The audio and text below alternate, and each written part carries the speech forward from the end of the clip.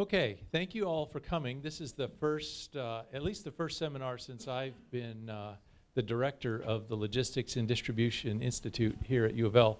My name is Kevin Gue, and I've been here just three months. And uh, I'm very pleased today to uh, announce a seminar being given by my friend Chase Murray, who is at Auburn University. He's an assistant professor there right now.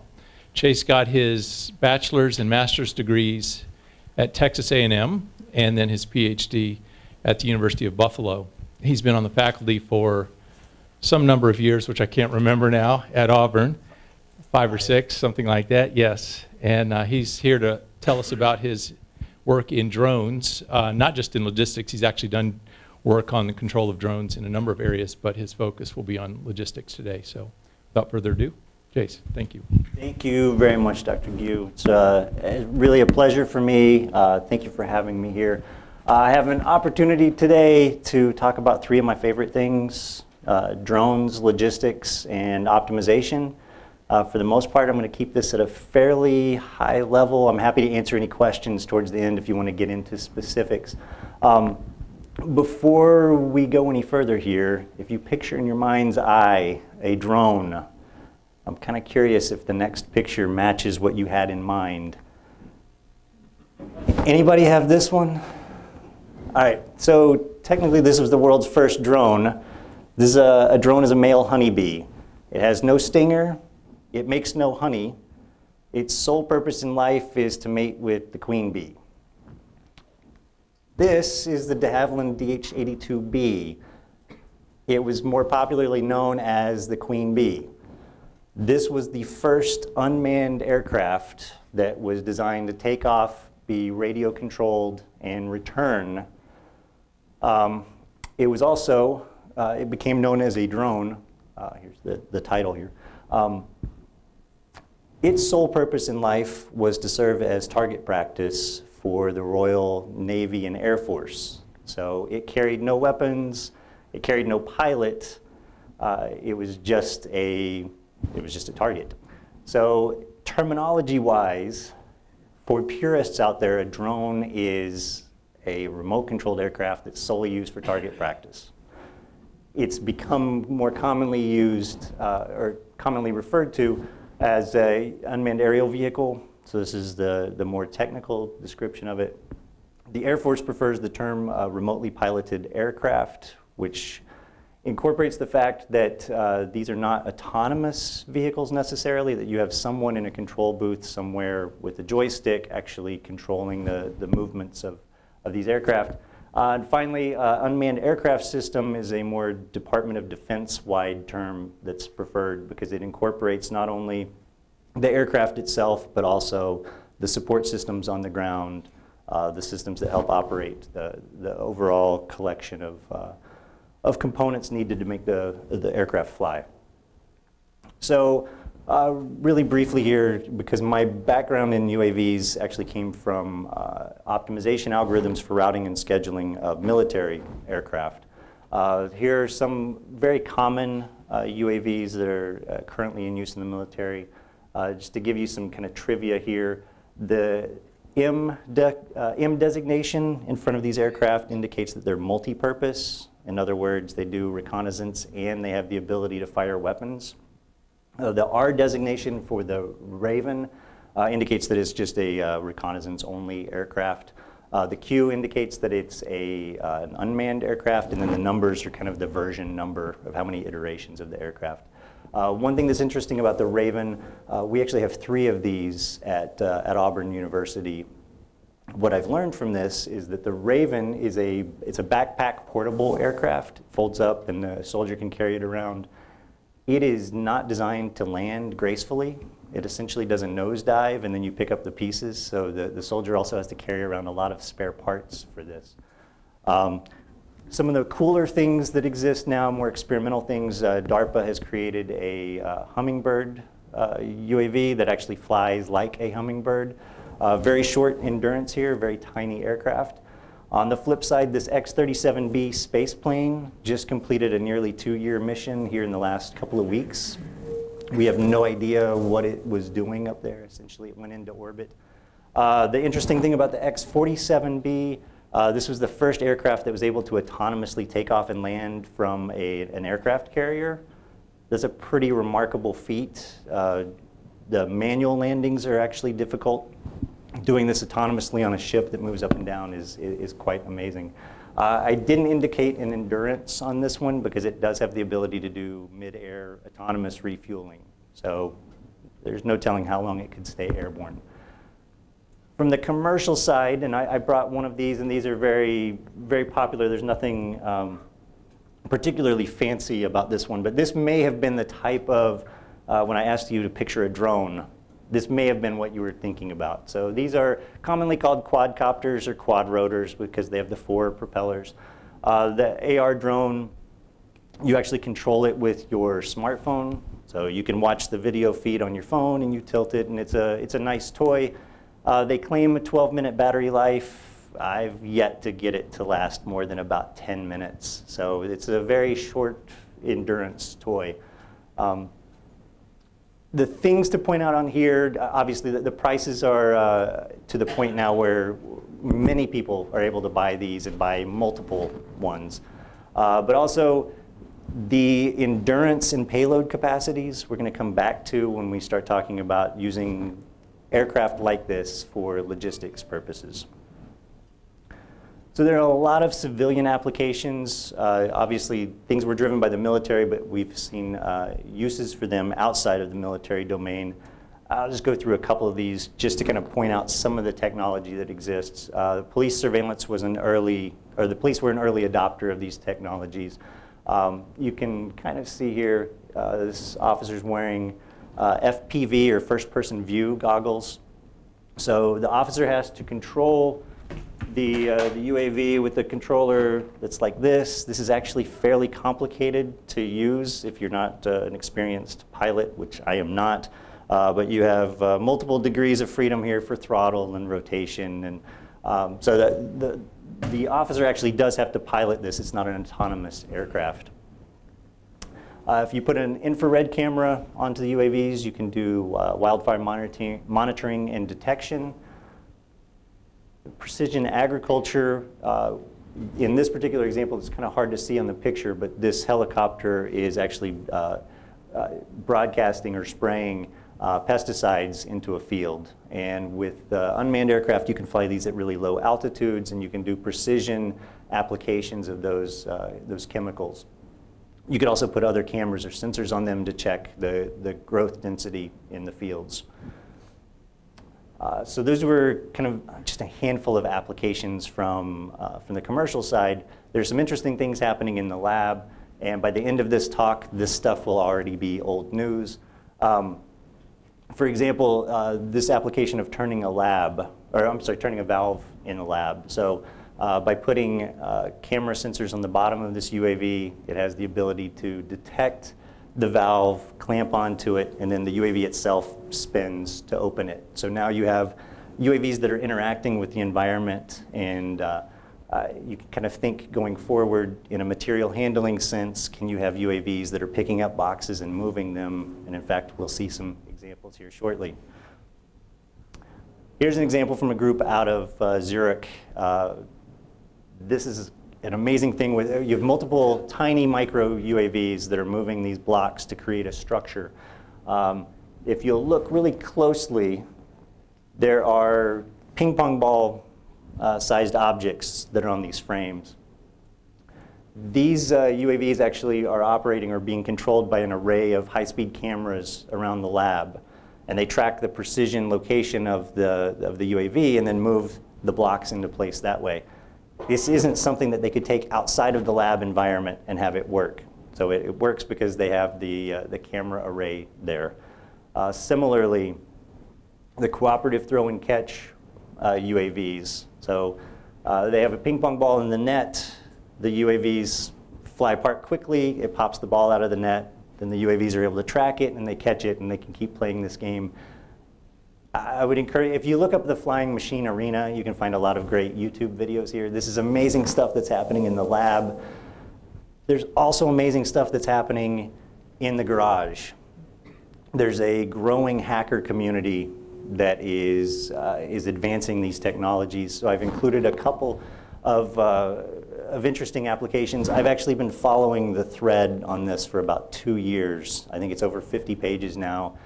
You have people who are going on and, giving detailed instructions on how to build these tiny robots that fly. And everyone is, uh, is contributing in these. So you have high school kids that are, uh, that are learning this technology on their own. Essentially, they're doing this development for free. Uh, so here's a, a, ground control station that was built from uh, an old laptop. This was put together. This was a 14-year-old student who, uh, this was a finalist in the, the Google Science Fair competition. Uh, when you move an object close to this quadcopter, it tries to mimic the behavior of a, uh, a fruit fly. So it first flies horizontally, and then it flies vertically to get out of the way. But when I was 14 years old, I was not developing stuff like this. It's really, it's really amazing what uh, the technology is enabling and the, the reduction in cost. All right, so really quick overview of, of UAVs in general.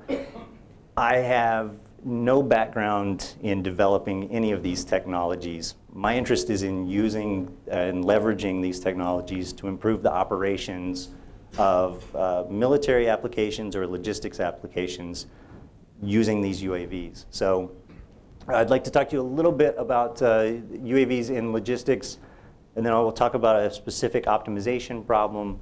Uh, we'll talk about the future prospects of, uh, of UAVs in uh, logistics or distribution, and then a really quick overview of some of the, the work that's happening in the Unmanned Systems Lab at, uh, at Auburn.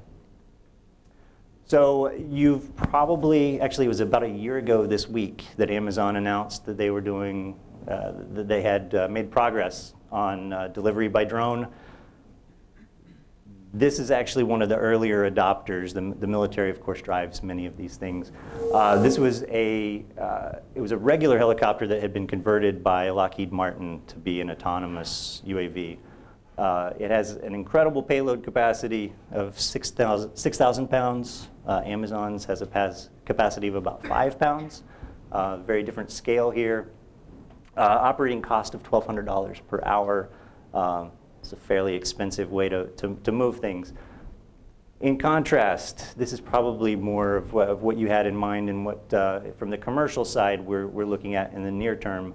Uh, so Amazon's Prime Air was announced uh, the night before Cyber Monday. There were some cynics who kind of thought that it was maybe a publicity uh, scheme.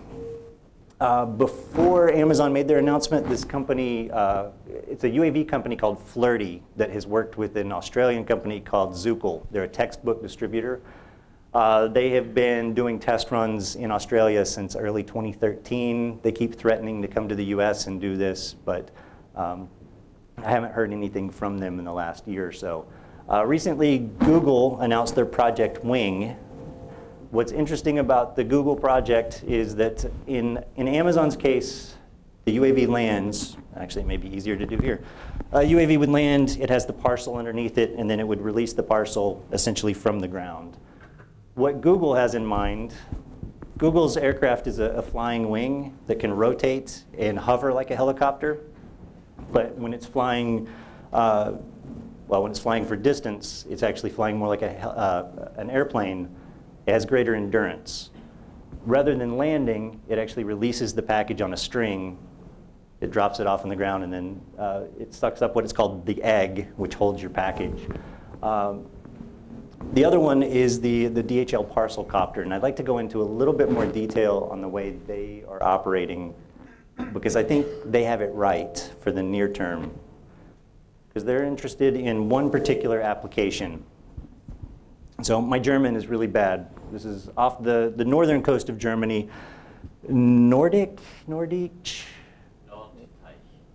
I was so completely off. All right, I'm not, there's a, a city here on the north coast of Germany.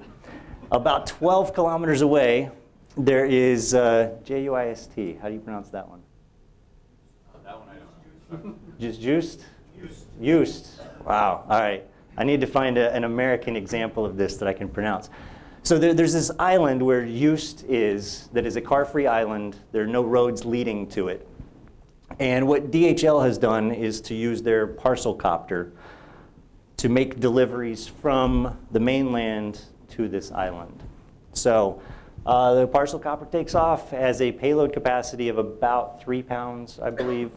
Actually, I have the details here. Uh, a little less than three pounds, top speed of around 40 miles an hour. The trip distance or duration is going to depend on, uh, on weather.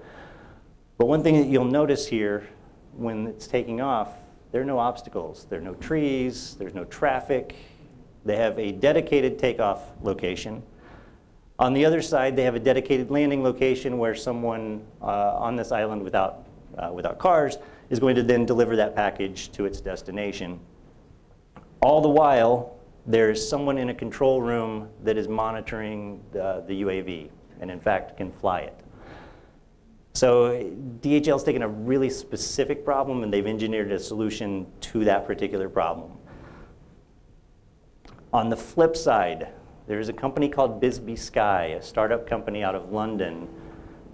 If you get a chance, you should check out the video here because I can't even begin to explain how fantastic, in the literal sense of that word, how fantastic their idea is. They envision a smartphone app where you call in a UAV. The UAV comes to you. You put an object in that uh, UAV. It has a one pound capacity. It takes it to your friend, delivers the item, and then the UAV would return to home base. Here are some screenshots from the video. This is a picture of the UAV being called in through this guy's apartment window. It lands on his desk where he puts his keys into the tray that comes out of it. The UAV then goes back through the window, delivers the keys to, to his friends.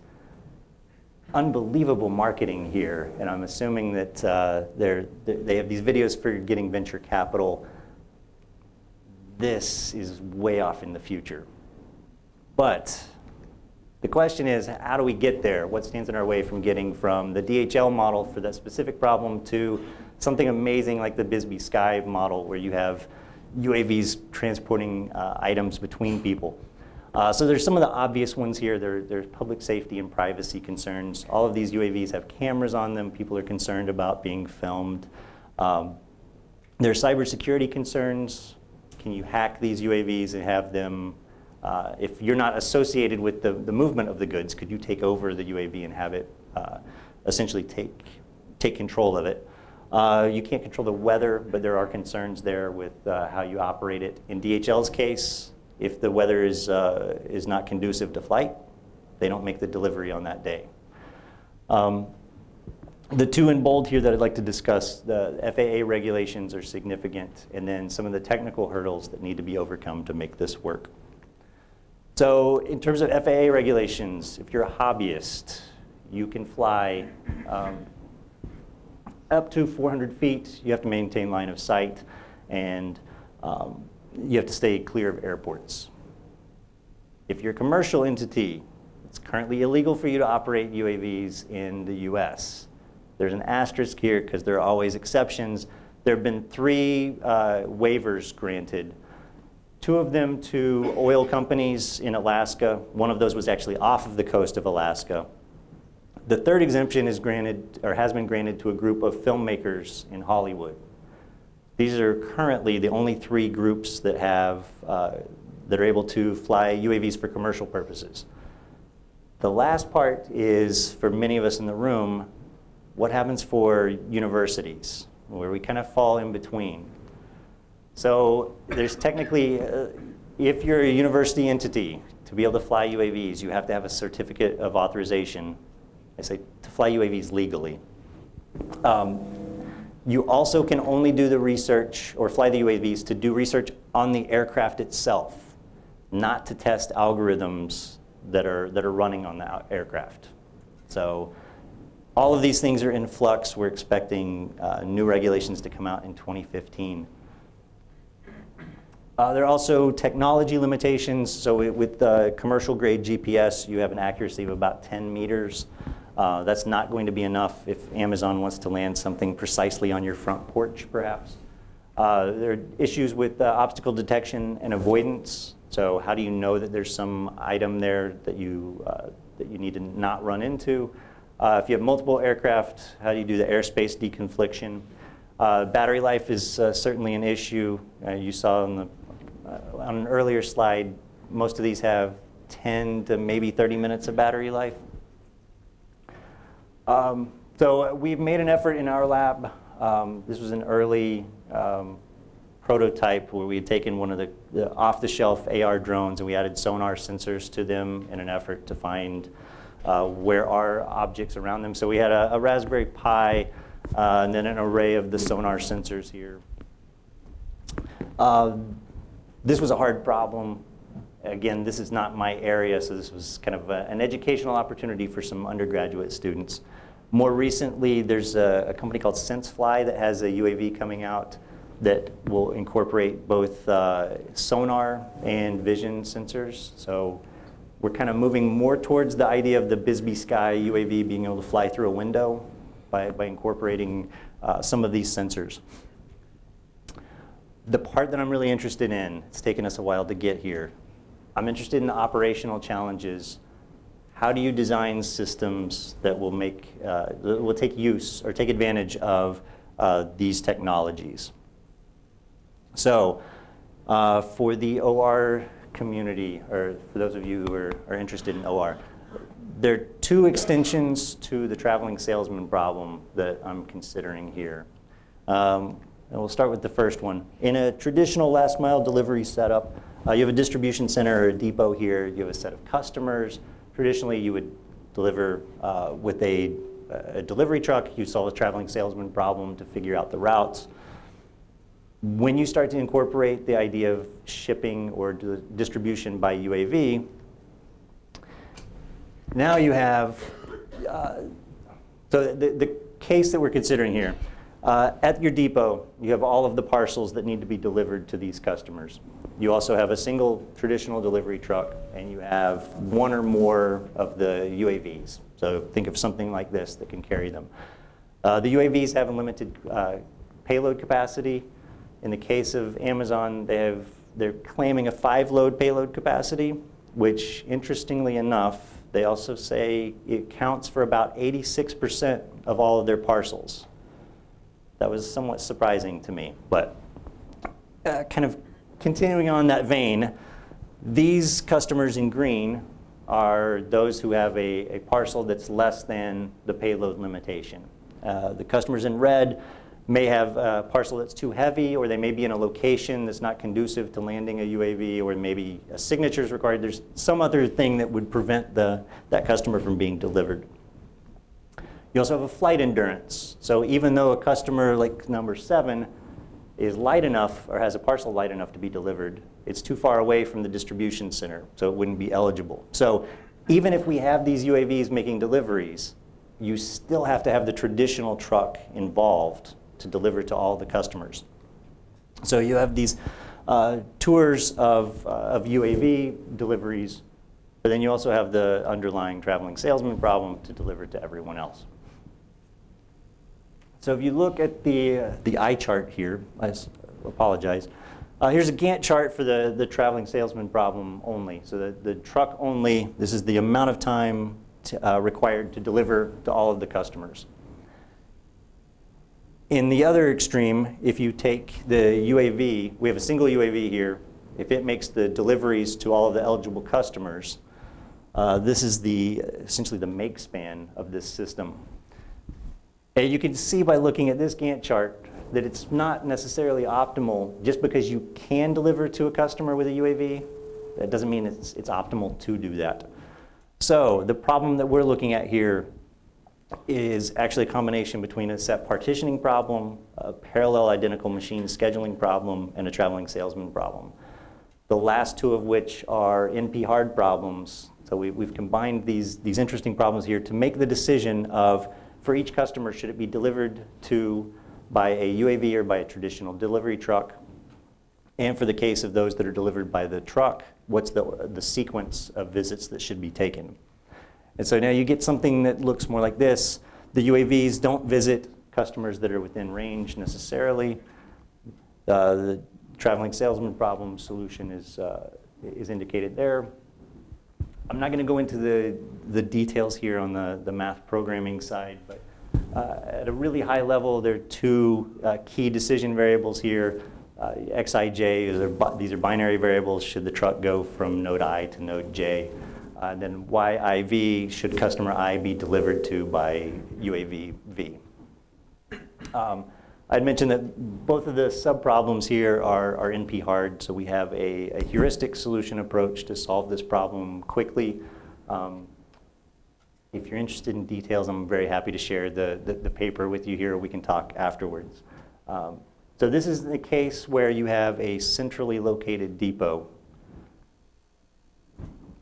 And when you look at these solutions, you can see that uh, the, the total make span required would be uh, reduced uh, in, in this parallel drone scheduling application.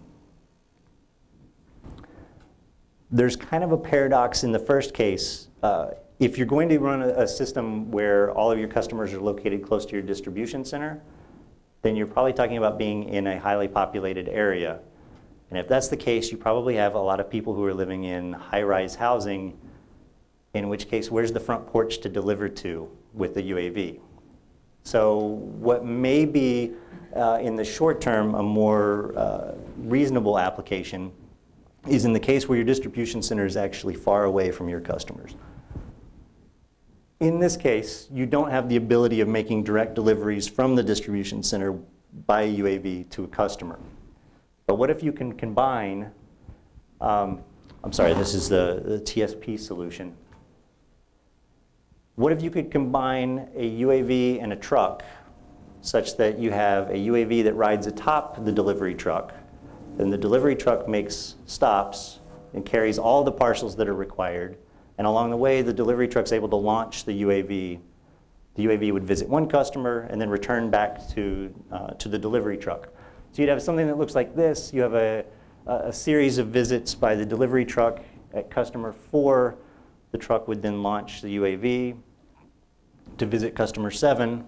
While the UAV is en route, the truck would go to its next customer, and you'd have this rendezvous, and you can continue this process until at uh, node five, or customer five, both the UAV and the truck are together, and they return to the depot.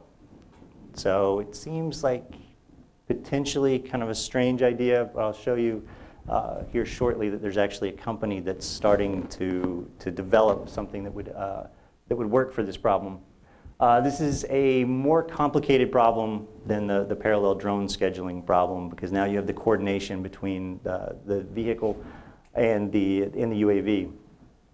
Um, so binary decision variables on uh, the tour for the delivery truck and then the three node tour for the UAV because you have to have the, uh, the launch point, the customer delivery point, and then the recovery point. Uh, we'll assume that there's uh, some service time that's required with launching and recovering. And again, there's a, a heuristic solution approach that I'm, I'm happy to share with you after the talk. And so the, the time savings here, and again, this is a, a toy problem, but uh, the time savings not nearly as significant in this approach as when you had the uh, central depot and a lot of UAVs coming out of it, uh, not surprisingly. But this does offer one advantage. Uh, if, the, if the UAV has issues, you have a delivery driver that's out near the, the UAV as opposed to launching the, the UAV from the central depot. Um, you, you, have someone close by that's, uh, that's close to resolve the issues. So there's a group at the University of Cincinnati that's working with uh, this company, AMP Electric Vehicles. And they have this prototype uh, that they're calling, I guess their, their electric vehicles are called the, uh, the workhorse, and they've called their UAV the horsefly. Um, so they have some promotional videos showing this UAV launching from a truck and making deliveries. It's unclear to me how autonomous this, these aircraft are right now. It appears that they're guided from a control center using actually something very similar to the standard remote control. Um, so this idea of having uh, on the one hand, you have an autonomous aircraft or an unmanned aircraft making deliveries. On the other hand, all of this has to be guided by a human somewhere. It's, so this is actually kind of related to some military work that I had done. Uh, the picture on the top left, this is a, uh, a pilot for a Predator aircraft. Um, presumably this photo would be taken in, uh, in somewhere in Nevada. The, the Predator is flown somewhere over Afghanistan. The interesting thing about the Predator is that it actually takes three operators to fly a single Predator UAV. There's a, a, a pilot, a sensor operator, and a communications officer. In the future, the Department of Defense would like to flip that ratio so that a single operator flies multiple aircraft at a time. So it's already a really stressful job. It's going to become even more so in the future. What's interesting here is this picture of the, the pilot flying remotely the uh, Predator looks an awful lot like the picture from the DHL distribution center or, or command center. So this idea of having a, uh, a, an operator controlling multiple aircraft at once might be the key to unlocking some of the opportunities with uh, using unmanned aircraft for distribution. So let me give you uh, an example here that came from the, the Predator case. So there are, um, in this example, there's a single operator that's tasked to control two UAVs. There are five targets that are kind of that are priority based. So targets one, three, and five are actually of higher priority than targets two and four. Each target has a time window in which it can be, it must be performed or uh, acted against. As the UAV is performing activities, the human operator on the ground has two responsibilities. Number one, uh, their control activities, the actual piloting of the aircraft. And number two, the operator is responsible for viewing or, or making sense of the, uh, the video feed that's coming off of the aircraft.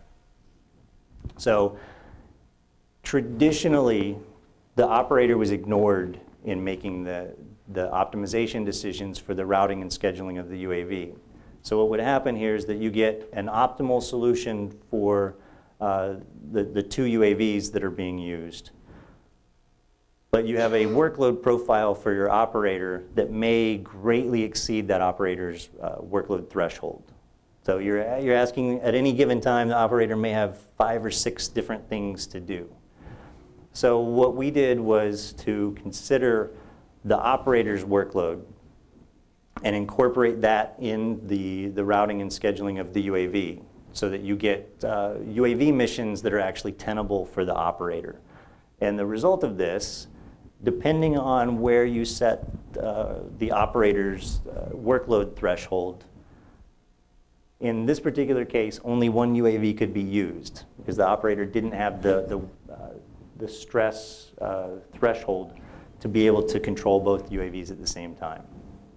The other thing is that there are no activities that are happening concurrently for the operator. So you get UAV missions that get spread out.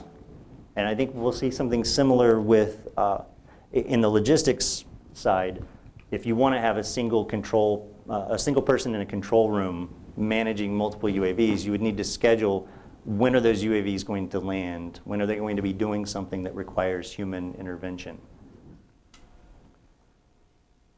So in terms of future prospects for this, um, I'm not going to uh, predict out further than the near term here because this is so, so dynamic.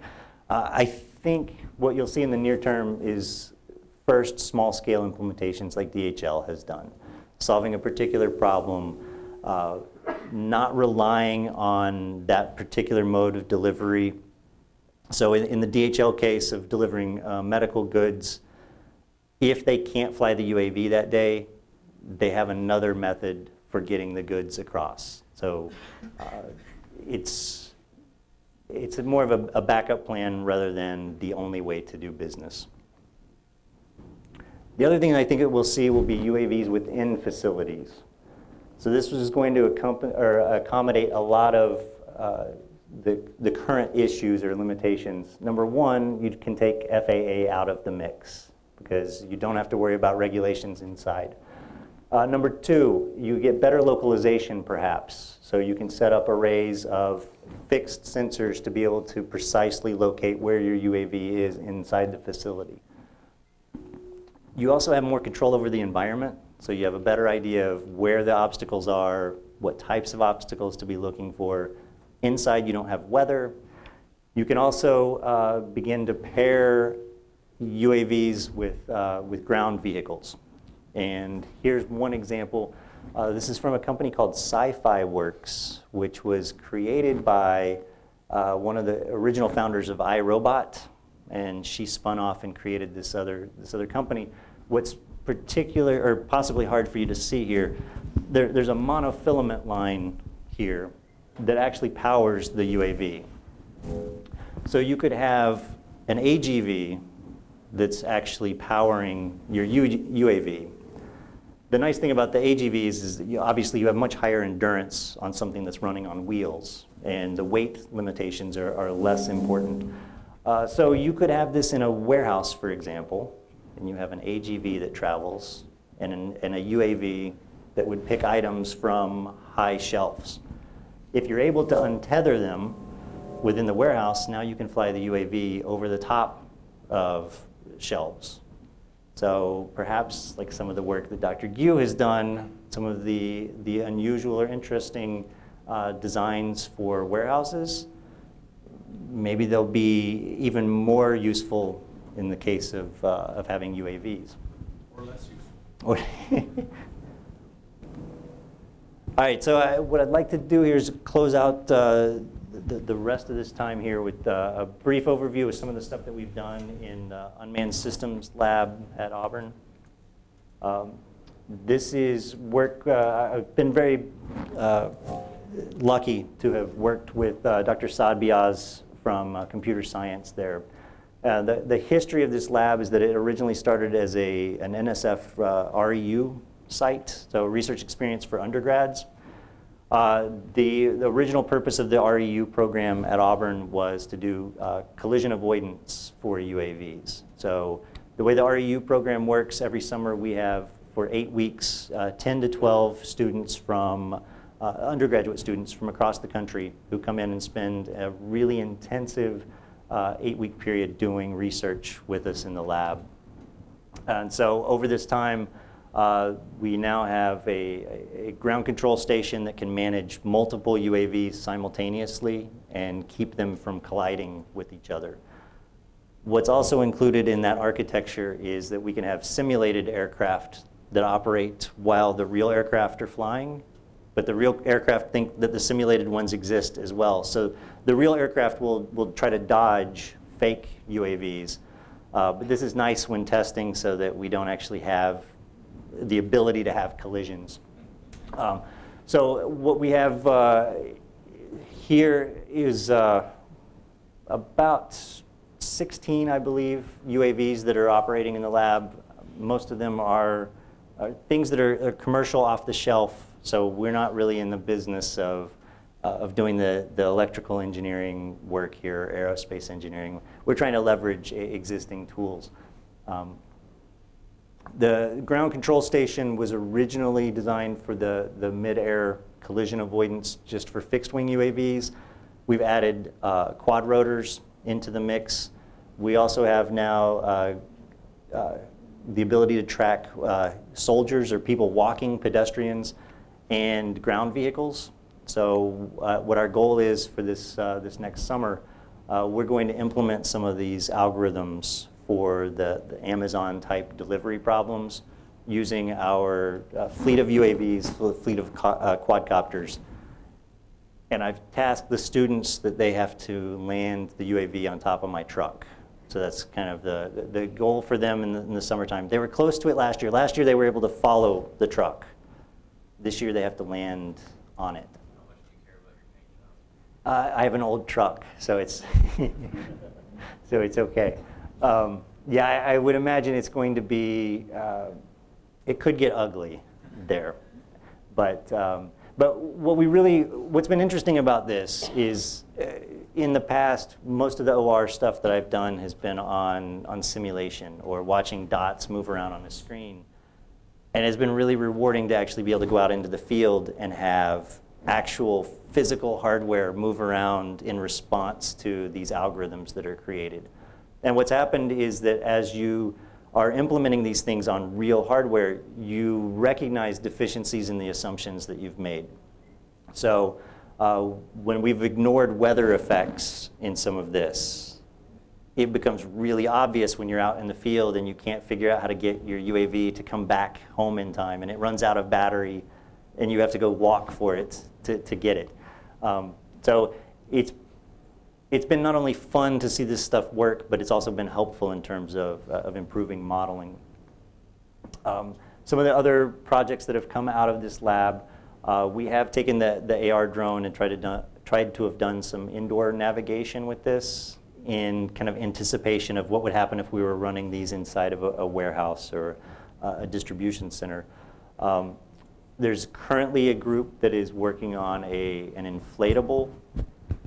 One of the challenges that we have had is that you get 10 minutes of flight time, and it's really hard to test stuff out with such limited flight time, and it actually becomes pretty boring. Helium does a remarkable job of lifting loads. I, I really had no idea until we, until we started looking at this. Uh, but we get much longer flight times by, by using the inflatable. So uh, I'm, I'm, excited to see what these undergraduate students are able to do with the, the blimp idea. Uh, I had mentioned the, the truck following problem, so we have uh, multiple UAVs now that can actually follow the moving vehicle. Um, and we're also looking at uh, how are we going to operate these if we lose GPS signal, because most of this requires that we know the precise location outside. Uh, so we're looking at GPS denied environments. And one exciting collaboration that we have that has really just gotten started, uh, at Auburn we now have a, a, radio frequency identification center that has moved from the University of Arkansas. Uh, there's really a very heavy Walmart influence here. Um, so we now have a uh, converted super center, or a, a supermarket that now serves as kind of a test bed for RFID applications. And there's been interest in, uh, in industry to put RFID readers onto the quadcopters and be able to fly and do inventory tracking uh, in, a, in an automated way. Some of the challenges here that the RFID readers are actually quite heavy. They exceed the payload capacity for our, our UAVs. Um, but I think that technology is going to, uh, that's going to evolve quickly. And so uh, we're looking at the, the application of that inside uh, retail centers. The last one there, uh, on the coast of Alabama, there's actually a growing oyster farming industry. And the way this works, uh, there are bags of oysters that sit out in the Gulf, and they have to be monitored uh, regularly. So you start with these little seeds of oysters in bags, and they grow quickly you have to pull some of those oysters out so that they don't exceed the, the capacity of the bag. Uh, so the, the farmers there are interested in having RFID tags in these bags to be able to track their, their inventory. And they'd like to be able to fly a, a quadcopter at low altitude over these uh, essentially fields, the, these aqua fields of, uh, of oysters. Uh, so we're looking at some options here I have a feeling that we're probably going to end up with a boat instead of a, a quadcopter. Um, but uh, it's nice to have something that's driven by kind of an, an industry uh, request. And one last plug for uh, students that have, have, worked hard on, on this. Um, the picture on the left, we actually have tried to do some demos with, uh, we had four UAVs that were up and flying at the same time. Um, uh, actually, I'm, I'm going to try to show you a video here. I think we have time uh, from one of our, our test flights.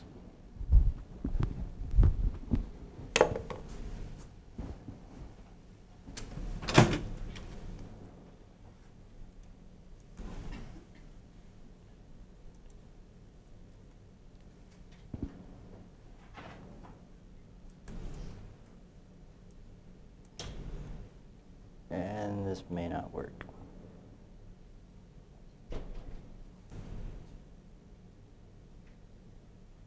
All right, so this is not, uh, It's still was it still? Your gray bar.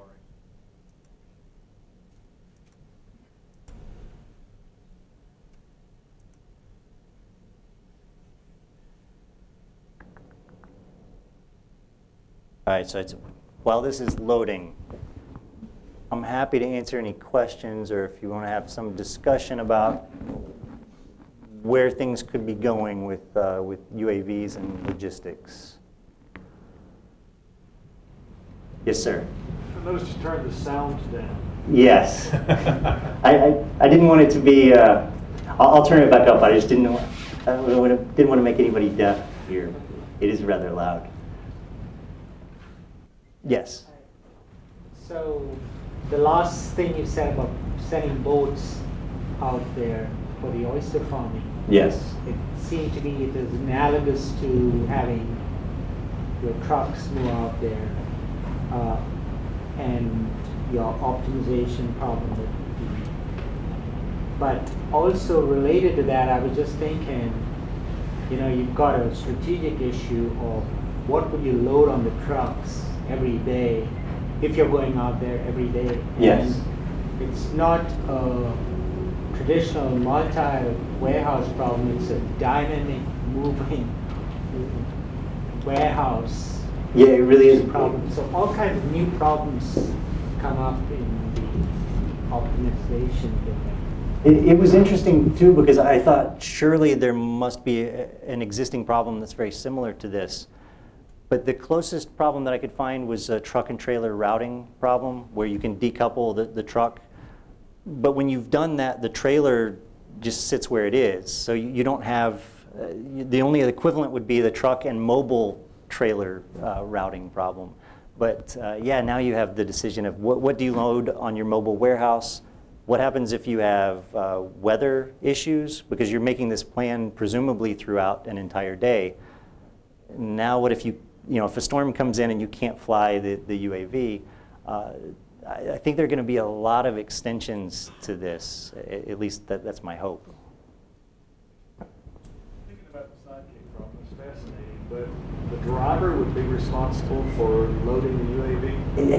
In, in kind of in the version that we had pitched, um, yeah, there are a lot of different variants to this. So if you have someone that's at a, a mission control center, presumably the driver would load the, the payload onto the UAV and, and set it adrift, and then you'd have someone in mission control who's piloting it and bringing it back, at which point the driver would uh, probably change batteries, get the UAV ready to go for the next, uh, the next event. Um, the way the HorseFly people had described it, they actually had the driver potentially piloting the UAV. Yeah, well, drink, um, they, they were not showing the driver piloting the UAV while driving. But you kind of, you lose the benefit there because now you can either do one or the other.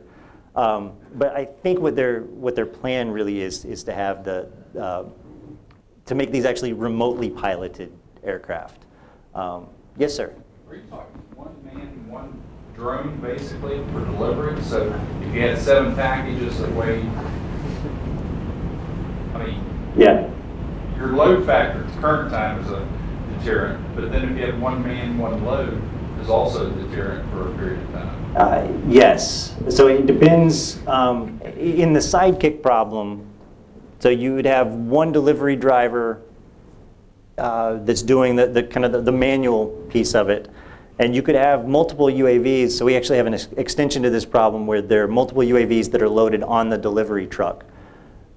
And then the question becomes who or what is controlling the UAVs? So you're saying take the delivery truck into the neighborhood and then deliver from the, from the delivery truck? Yeah, yeah, I'm, I'm sorry, I didn't explain that clearly. Um, Yes, yeah, so you have, the delivery truck becomes your mobile warehouse. I mean, Even if you took an Amazon, Yeah. which may deliver in five thousand packages a day in Louisville, let's just take, but in each neighborhood, they deliver six, seven? Depends on the season. Yeah, well, Neighborhood. in a neighborhood now, I'm saying, not, which neighborhood would probably be a square of ten blocks or something like that because your GPS. So in today's market, and I'm not saying what's gonna happen in the future, but in today's market, um, the cost ratio starts to be very similar because now we've got a controller for each one of those drones back at mission control. We've got a driver out on the route Yeah. till you get that payload up and get the GPS capable, capability up, you really have a period of time to go. So there, I mean, part of the, the purpose of this is also to point out, it's, it's not as close as you would think by watching the 60 Minutes story. Um, But there, there are ways that you can, you can start to overcome this. So if you think about, you're already making this, deli- these deliveries on a delivery truck. If you have the ability to launch these other uh, methods of, of making deliveries while you're doing deliveries, can you get a 5% improvement? You know, I, I don't think we're talking about major, um, un- unless you start to add a lot of UAVs that are kind of swarming around this delivery truck. Um, but can you, can you get a, a, a 5 to 10% improvement out of something that may, you know, the cost may come down to where it's actually quite affordable, Le- less expensive than hiring another uh, driver, for example. Um, I- I'm, I'm not wed to this, like, I, I don't have any, it's not my company that I'm, that I'm promoting, but, but I do think it's an interesting problem, and certainly from an OR perspective, there's some great optimization problems that, that underlie it. Yes, sir? So going back to this, wouldn't it make sense perhaps then to look at autonomous vehicles, driverless vehicles, and have the drones do the drop-off at the porch? You know, the, the vehicle does the bulk of the driving and the heavy stuff. You save the driver if you can get to an autonomous vehicle, and then use the remote-controlled aircraft that does the actual from the truck to the door. Yeah. Uh, yeah, there, there- yeah, there would still be some packages that you can't deliver, but. Well, yeah. yeah, there's a weight issue, I, I understand, but. Yeah, yeah, that would be, so now you're, you're looking at a, a Google driverless car that's doing that.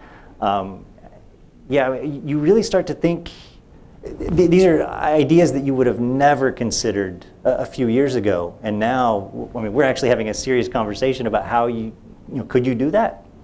Um, Yeah, I think that's an interesting problem. Problem with autonomous vehicles for delivery, nobody wants to walk out or is going to be home to pick it up, so this way you might be able to add that portion to it.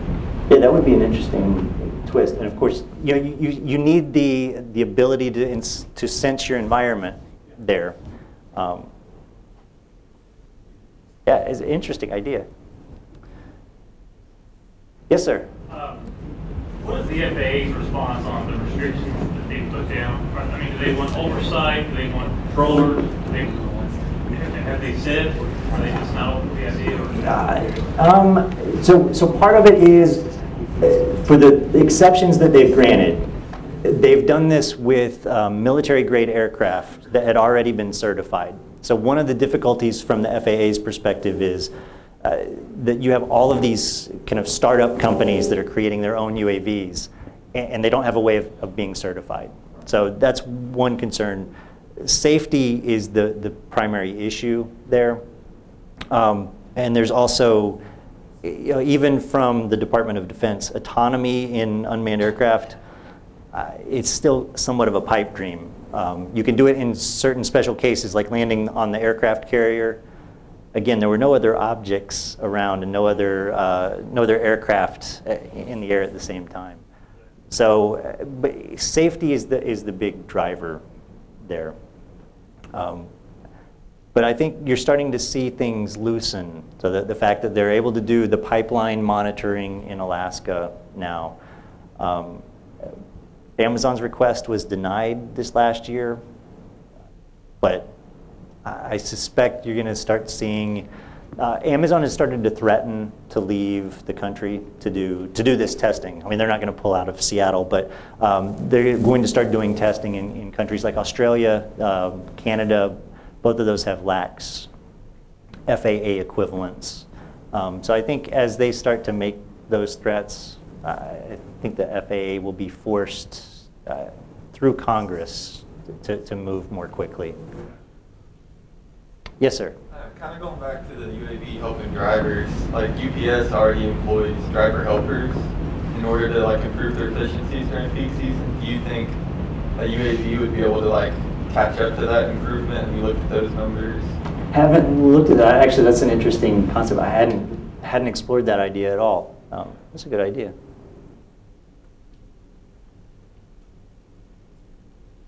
Anything else? I'm I'm happy to talk about this stuff for for ages. Um, yeah, I'm gonna give up on on that. It, it is on my website, and I'm also going to post these slides on the website because I, I do have references for uh, some of the things, some of the pictures and uh, and videos that were referenced there. So if you would like to see them, I'll I'll make that available to you as well. What kind of time, I'm sorry, what kind of time frame do you see this going? Um, Ten years, twenty years? So the, the DHL uh, test runs are running now. And so I think that those specialized cases in countries that allow the, the aircraft to fly, uh, yeah, I think 2015, you're, you're going to start seeing this fairly commonly. Um, UPS is looking at within, um, within facility movements by UAV and also between facility what I think will happen there is that some of this may happen without you really knowing it, because it won't be so obvious. Uh, but I- you know, AGVs are so pervasive in in warehousing. I just this seems like such an, a, a logical next step. Um, so I would think that by the end of next year, you'll start to see some some pilot stuff on that, some some small scale tests. Other questions? Thank you so much. And you're very welcome for having me.